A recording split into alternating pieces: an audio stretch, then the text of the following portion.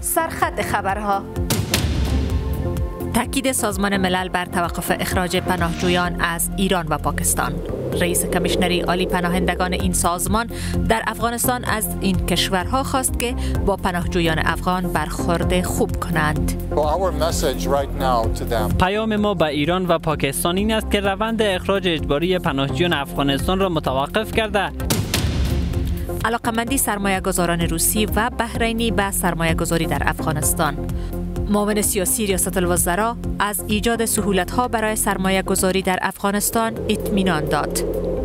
رئیس الوزرا سیاسي مرستیال ویل د افغانستان اسلامي امارت ټولو پانګوالو ته لازمي اسانتیاوې رامنځته کوي انتقاد از حیف و میل کمک های بشری در کشور. سرپرست اداره ملی آمادگی با حوادث می‌گوید که برخی از نهادهای کمک رسان تنها یک بر سوم کمک ها را به نیازمندان توضیح می کنند په کابل کې نورم داسې خلک ډیر پاتې دي په سوونه دي بلکې په زرو دي یا په ولسوالیو کې او یا په شهر په ناحیو په حوزو کې. و برگزاری نشست شورای امنیت در مورد حمله اسرائیل بر ایران تا یک روز دیگر.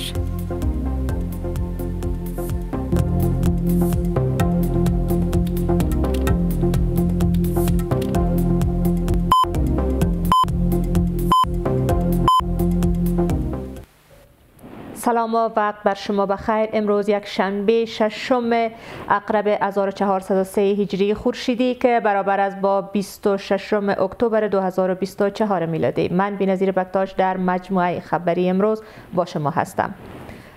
رئیس کمیشنری عالی پناهندگان سازمان ملل در افغانستان از ایران و پاکستان خواسته است تا روند اخراج اجباری پناهجویان افغان را متوقف کرده و برخورد خوب با آنان داشته باشند عرفات جمال تصریح کرده که این نهاد در بخش های سر، سرپناه، توزیع پول نقد و ایجاد مرکزهای صحی و آموزشی برای بازگشت کنندگان کمک کرده اند. شرح بیشتر از اسماعیل سادات.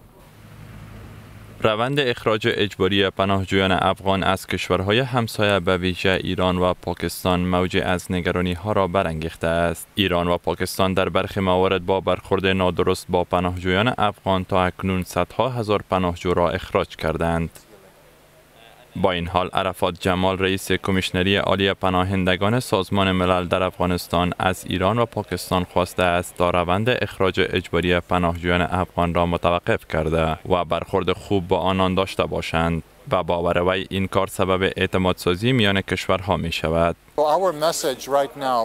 پیام ما به ایران و پاکستان این است که روند اخراج اجباری پناهجویان افغانستان را متوقف کرده و به خوبی با آنان رفتار کنند. این دو کشور 45 سال سخاوتمندانه میزبان میلیون ها پناهجوی افغان بودند.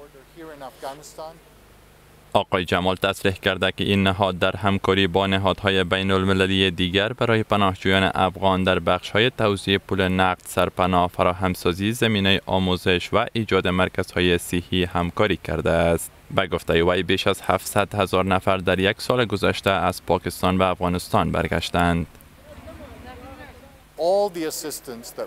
ما برای کسانی که به افغانستان برمیگردند پول نقد توضیح می کنیم. ساخت مکتب های ابتدایی، ایجاد مرکزهای صحی و ساخت سرپناه از اولویت های ما به بازگشت کنندگان افغان است.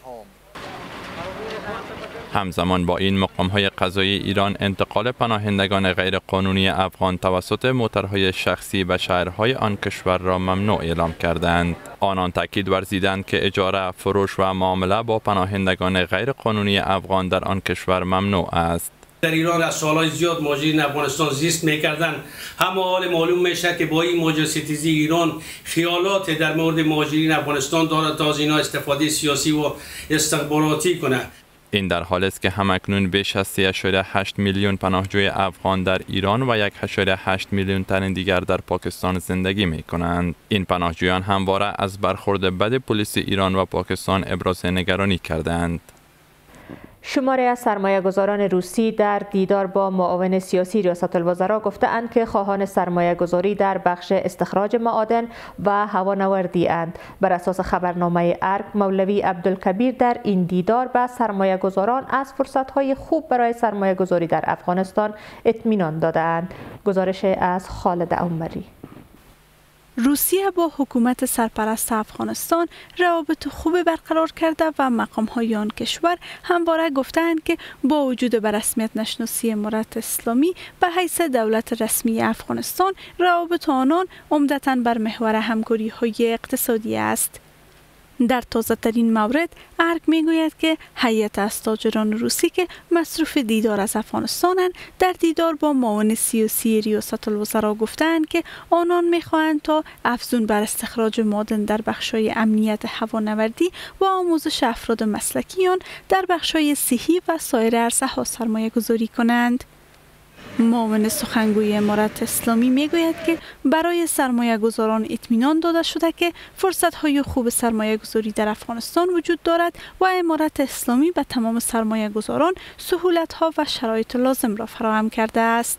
رئیس الوزرا سیاسي مرستیال ویلي د افغانستان اسلامي امارت ټولو پانګوالو ته لازمي اسانتیاوې رامنځته کوي او دغه راز یې ویلي په تیر درې کلونو کې د کانونو استخراج او د درمل جوړولو فابریکو ترڅنګ د بندونو جوړولو د لوی لارو سړکونو جوړولو په برخه کې بېلابېلې پروژې عملا پیل شوې دي په دې سره زیات شمیر هوادوالو ته کاری فرصتونه هم برابر شوی شماره از آگاهان به این باورند که برای جذب سرمایه گذاری های بیشتر در کشور بر راهکارهای نیاز است.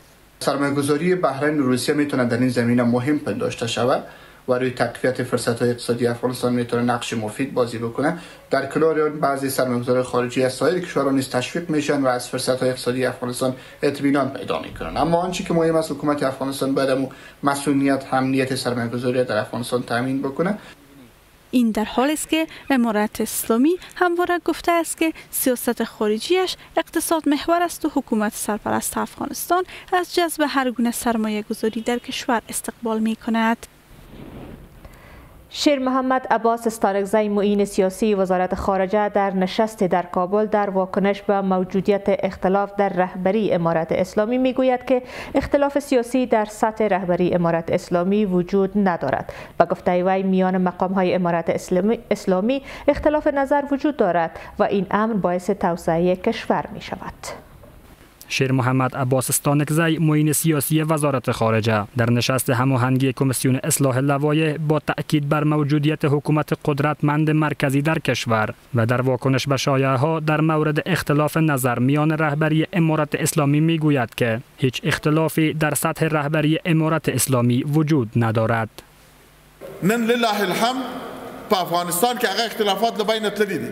نن د چوکۍ په سر جنگ نسته نن د مادیاتو په سر جنگ نسته نن د امتیازاتو په سر جنگ نسته که اختلاف دی هغه اختلاف د نظر دی او د افغانستان د ترقی و تعالی لپاره اختلاف دی در همین حال سرپرست معینیت پالیسی و نشرات وزارت اطلاعات و فرهنگ در این نشست می‌گوید که کمیسیون اصلاح لوایح برای حذف تصویرهای غیر شرعی و اصلاح لوحه ها در سطح کشور تلاش می کند. آسی پذیر ځایونه کم ځایونه چې مشکل لري هغه راجستر کیږي بدیل لغاتونه پیدا کیږي هغه نو ورسته خلکو سره شریکو چې موږ سره همکار شي ډیر کوشش مو ده چې په لومړي قدم کې خپل د هماهنګۍ د لارې د آگاهی او پوهنه پوهنه خلکو ته ورکو چې د دې لارې خلک خپل دا کار را سره همکار شي دا مشکل اصلاح کی کمیسیون اصلاح لوایح دو سال پیش ایجاد شد و منظور از ایجاد آن جایگزینی فرهنگ افغانی به جای فرهنگ های بیگانه دانسته شده است.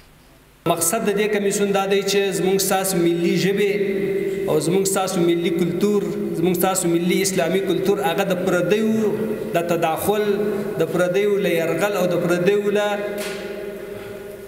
اثرات څخه وساتو بر بنیاد گفته های مسئولان این کمیسیون در سراسر کشور برای پیاده کردن فرهنگ افغانی و از بین بردن فرهنگ های بیگانه در کشور تلاش می کند. سفارت افغانستان در مالیزیا از دیدار سفیر امارت اسلامی با مقامهای برخی از کشورهای منطقه خبر داده است. این سفارت گفته که در این دیدار طرفها درباره گسترش تعامل امارت اسلامی با کشورهای منطقه و همسایه ها و برخی از موارد دیگر گفتگو کرده اند گزارش از مشعل ایوبی.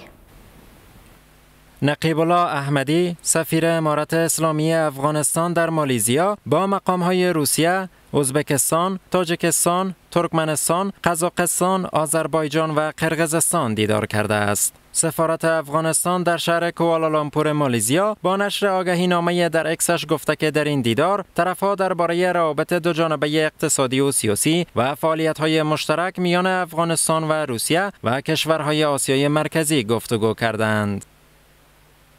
این سفارت تصریح کرده که در این دیدار همچنان درباره گسترش تعامل امارت اسلامی با کشورهای منطقه نیز سخن زده شده است. همزمان یکی از آگاهان سیاسی دیدار مقامهای کشورهای منطقه و جهان را با مقامهای امارت اسلامی در راستای بهبود روابط حکومت سرپرست افغانستان با جهان سودمند دانسته است. یک پل ارتباطی است و این به خاطر بهبود روابط در آینده بسیار کمک می‌کنه. در عرصه های دیپلماسی با اقتصاد. ما امروز با اقتصاد کمک های اقتصادی ضرورت خاص داریم. هرگاه کشورهای همسایه و منطقه و فرا منطقه در مورد رشد اقتصادی افغانستان هر نوع کمکی که می‌کنن و مفاد ماست کشورهای جهان همواره از امارت اسلامی خواهان تشکیل حکومت فراگیر و تأمین حقوق شهروندان در کشور به ویژه زنان و دختران افغان شدهاند. در همین حال یکی از آگاهان سیاسی دیگر بر تمکین امارت اسلامی به خواستهای جهان تاکید کرده و آن را در راستای ایجاد تعامل بیشتر حکومت سرپرست افغانستان با جهان مهم می‌داند. تماس حکومت طالبان با یک کشورها زمانی نتیجه مصمر میده که تقاضاهای این کشورها دارند جلسات سرانشان یا جلسات مختلفی که بین اینا برگزار میشه. از قبیل تشکیل حکومت فراگیر و تامین حقوق زنان و دختران برای تحصیل در این صورت نتیجه بخش است. این در حال است که تا اکنون جهان امارت اسلامی را به رسمیت نشناخته اما برخی از کشورها روابط خوب اقتصادی با افغانستان ایجاد کردند و سفارت این کشور در شماره از کشورها نیز از سوی نماینده امارت اسلامی اداره می شود. مبارزه با حراس افغانی تشکیل حکومت فراگیر و تأمین حقوق بشر به ویژه حقوق زنان و دختران از خواستهای اصلی جهان برای برسمیت شناسی امارت اسلامی است. خواستهایی که امارت اسلامی همواره گفته آن را عملی کرده است. اداره هماهنگی کمک های بشردوستانه سازمان ملل متحد گزارش داده که شمار نیازمندان به کمک های انسان دوستانه در افغانستان پیوسته افزایش یافته است. بر اساس گزارش این نهاد اکنون در افغانستان 23 میلیون تن نیاز به کمک دارند. همزمان شبکه سیستم هشدارهای اولیه قحطی گفته که خانواده های کم بزاعت در افغانستان با نرخ بالای بیکاری و چالش های بزرگ اقتصادی روبرو هستند. گزارش از سید بلال سیاد. دفتر هماهنگی و کمک های بشردوستانه سازمان ملل متحد یا اوچا اعلام کرده که شمار افراد نیازمند به کمک های انسان دوستانه در کشور پیوسته افزایش یافته است. اوچا در برگه اکس خود نگاشته که اکنون نزدیک به 23 میلیون نفر در افغانستان نیازمند کمک هستند. این نهاد در ادامه از کاهش بودجه امدادگران برای نیازمندان در سال میلادی پیشرو ابراز نگرانی کرده است.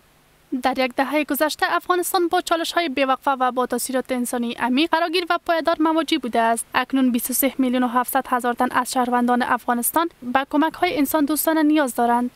اوچا در گزارشش آورده که بیثباتی سیاسی، خشکسالی، زمین لرزه، ناامنی غذایی، بیجا شدگان داخلی، ویروس کرونا، نبود مراقبت های صحی، ناداری و افزایش محرومیت ها بر بانوان از بزرگترین چالش های فراروی شهروندان افغانستان است. در کنار این شبکه سیستم هشدارهای اولیه قحطی با نشر گزارش گفته است که پیامدهای بحران امنیت غذایی در افغانستان تا سال 2025 ادامه خواهد داشت. خانواده های کم بزاعت پس از تاثیرات خشکسالی سه ساله هنوز نتوانستند به سطح تولید معمولی خود بازگردند. خانواده های کم درآمد شهری نیز با نرخ بالای بیکاری و چالش های بزرگ اقتصادی روبرو هستند. انتظار می رود که نیازها به کمک های غذایی انسان دوستانه به گونه فصلی افزایش یابد و این روند تا سال 2025 میلادی ادامه پیدا خواهد کرد. در همین حال برخی از کارشناسان اقتصادی می‌گویند که تنها راه حل ریشه کردن ناداری و گرسنگی از افغانستان کمک های بشری نیست و باید از منابع گوناگون افغانستان استفاده یا درست صورت بگیرد. هرگاه ما می‌خواهیم که فقر جلوش گرفته باشیم سعی کرده باشیم که از منابع به شکل بهینه استفاده لازم برده باشیم. چی منابع طبیعی باشه و چی منابع بشری باشه. معادن میشه به شکل صرفه‌جویانه استخراج کرده باشیم پروسس کرده باشیم و نیروی کار به کار بندازیم. این در حالی است که پیشتر از این دفتر هماهنگ کننده کمک های بشردوستانه سازمان ملل با انتقاد از مختل کردن روند کمک رسانی نهادهای امدادگر در افغانستان گزارش داده بود که دستورالعمل های امارت اسلامی مستقیما بر فعالیت های بشردوستانه در کشور اثر گذاشته است. اما در واکنش به آن حکومت سرپرست همواره مداخله در روند کمک رسانی نهادهای امدادگر در کشور را رد کرده است. سرپرست اداره ملی آمادگی با حوادث در جریان توزیع کمک به آسیب دیدگان سیلاب ها در کابل برخی اداره های کمک رسان را متهم به حیفا میل پول های کمکی می کنند و می گوید که این نهاد تا 65 درصد از کمک ها را برای خود و متباقی را برای نیازمندان توزیع می کنند گزارش از احمد شاه غفاری. های موسومی سبب سرازیر شدن سیلاب ها در کابل و ولسوالی های آن شد. آسیب های زیاد جانی و مالی را برای باشندگان کابل به بار آورد.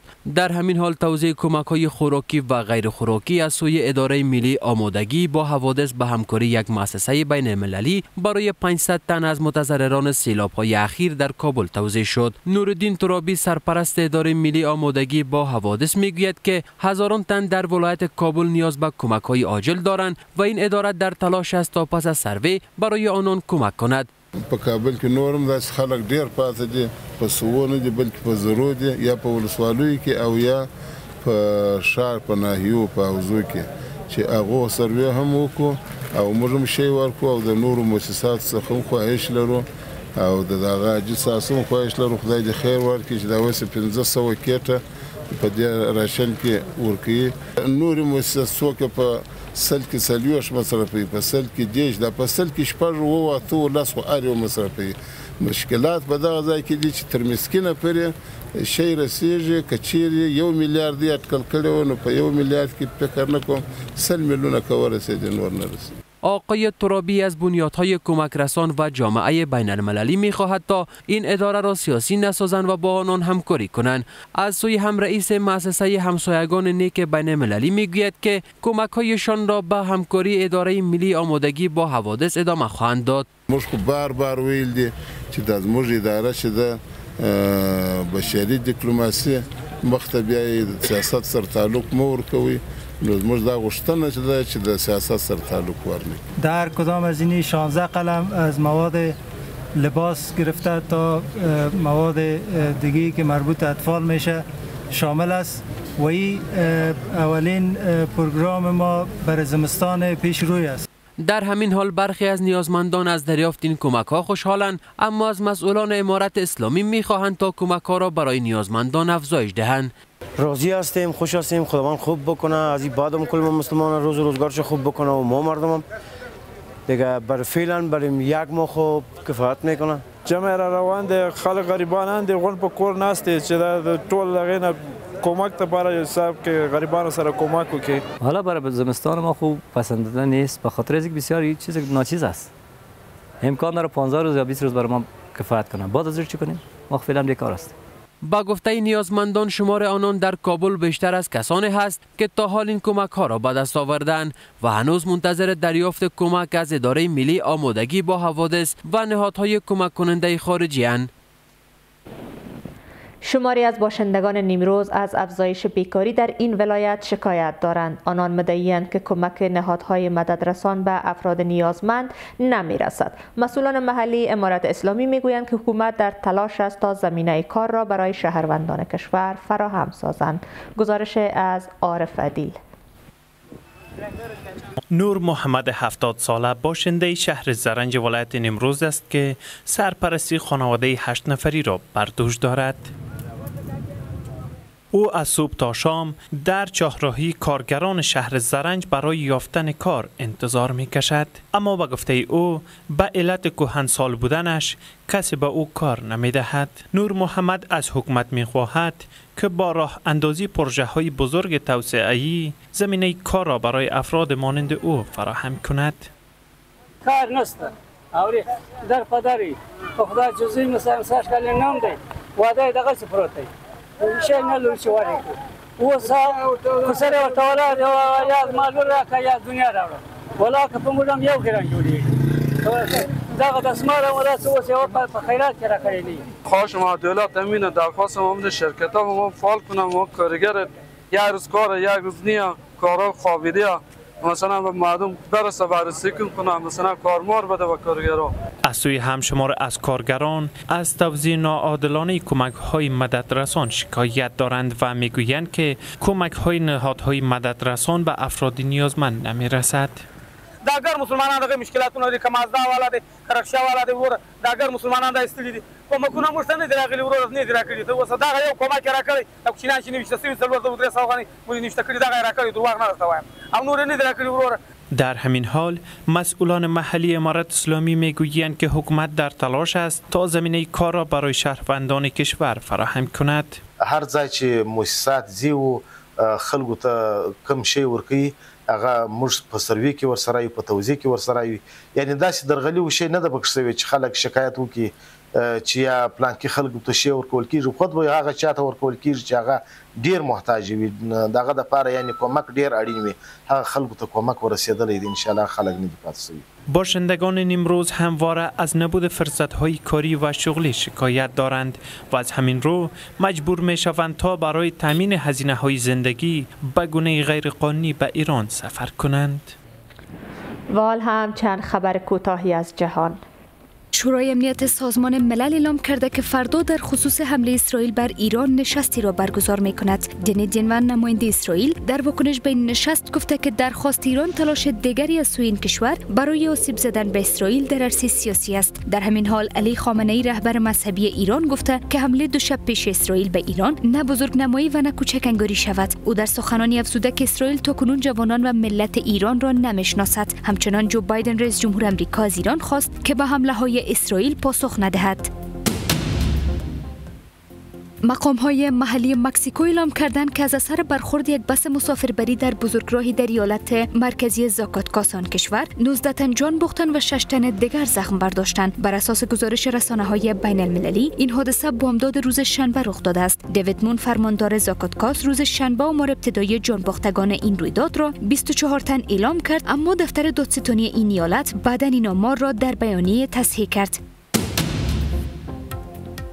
چین فروش تجهیزات نظامی توسط امریکا به تایوان را مورد انتقاد قرار داده و گفته که تمام اقدام های لازم را برای دفاع از حاکمیت و تمامیت ارضی خود اتخاذ خواهد کرد. این در حالی است که وزارت خارجه امریکا فروش یک بسته تسلیحاتی به ارزش دو میلیارد دلار را برای تایوان تصویب کرد که مشمول سیستم های پیشرفته میزایل های زمین به هوا و رادار است. چین در سالهای اخیر فعالیت های نظامی خود را در اطراف تایوان افزایش داده و تیاره های جنگی این کشور را در اطراف جزیره تایوان به پرواز درآورده است.